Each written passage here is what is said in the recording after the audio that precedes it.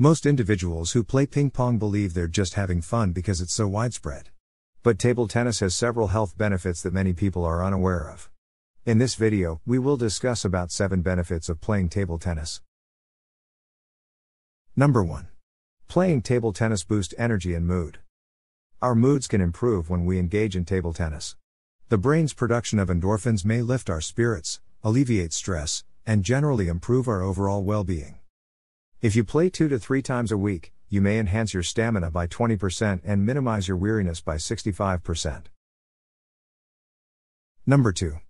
Enhance your sleep quality. To help us fall asleep, we can play table tennis. People who play table tennis get better late night sleep than people who don't, even if they play in the morning, noon, or night.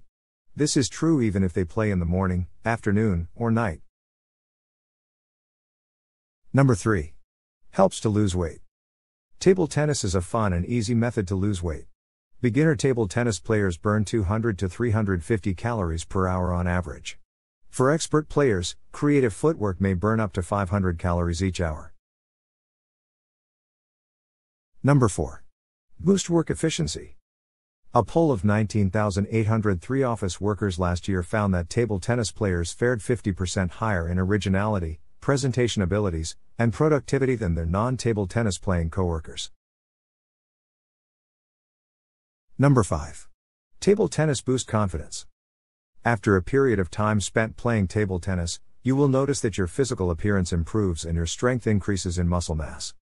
Playing table tennis helps you radiate with self assurance and beauty. Number 6.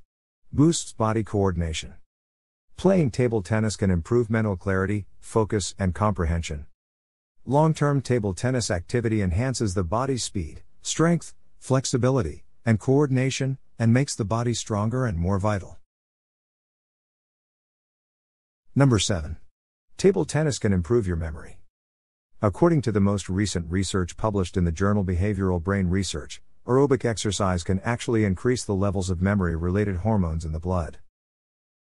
Thanks for watching.